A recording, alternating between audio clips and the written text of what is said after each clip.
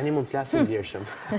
Atëherë, ky është një studim faktikisht që ne sot njihemi në media, por normalisht rrethet tona dermatologjike njihen prej kohësh. Sepse ne e dimë tashmë dëmtimin e madh që shkakton rrezatimi ultraviolet dhe veçanërisht pikërisht llampat UVA në lëkurë dhe në thonj. Kemi vite e vite që dermatologët bëjnë apel në botë që aplikimi i këtyre llampave, qoftë për nxirjet artificiale, pra gabinat e solarëve, një, mhm. qoftë për realizimin tashmë kohëve të fundit që ka dalë një trend i fundit për bërjen e thonjve, mhm. janë makineri të cilat induktojnë kancer në gjuhën tonë.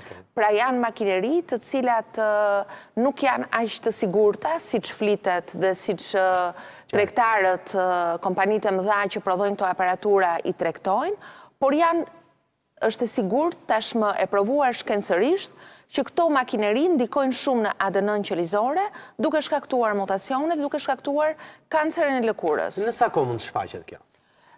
Një kohë e sigurt nuk ekziston, por ne mund të themi që tre procese të nxirjes artificiale e riskojnë dhe rrisin riskun për të shfaqur kancer lëkure tek individë të caktuar. Po flasim për solarin, nxirjet që bëhen në trup. Për solarin, absolutisht, sepse është e njëjta gjë, është UVA që transmetohet nëpërmjet aparaturës, domethënë. E njëjta gjë është me aplikimet e makinerive të vogla për tharjen e thonjve me xhel ose me tipsa me metoda të ndryshme. Pra, ne marrim në mënyrë të vazhdueshme po. një ekspozim të dëmshëm, i cili në harkun kohor disa vjeçar e riskon individin për të shfaqur kancerin e lëkurës.